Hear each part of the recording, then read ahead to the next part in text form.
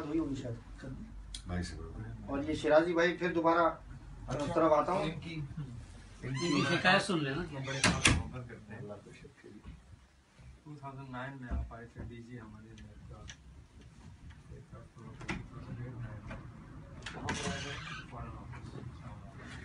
اچھا ہاں بالکل آیا تھا بالکل۔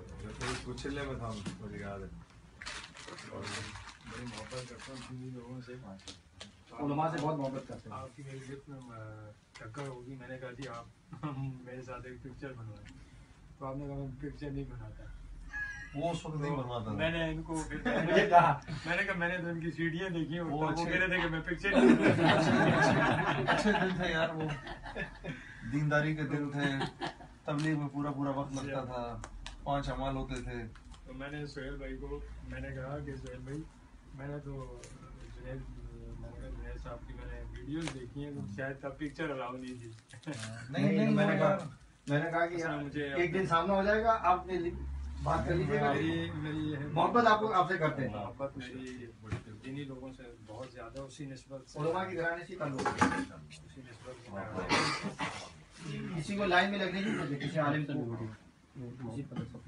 ہاں،